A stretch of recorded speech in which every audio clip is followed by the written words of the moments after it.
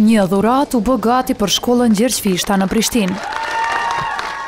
E kjo po zbulohet në ditën e shkollës. Me vendosjen e këtij monumenti të Gjergj Fishtës, historiani dhe biznismeni Sabri Maxhuni, po thotë se përmbushi një ëndërr të kahmotshme.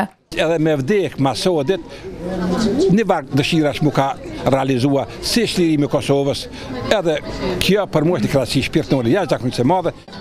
E për të ndarë këtë gëzim me nxënësit dhe mësimdhënësit e shkollës në Prishtinë, këtu erdhën edhe përfaqësues të shkollës me të njëjtin emër nga Lezha e Shqipërisë.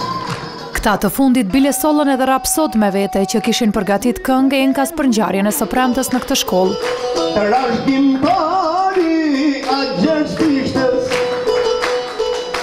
Në mesin e mysafirëve pati edhe përfaqësues nga familja Fishta.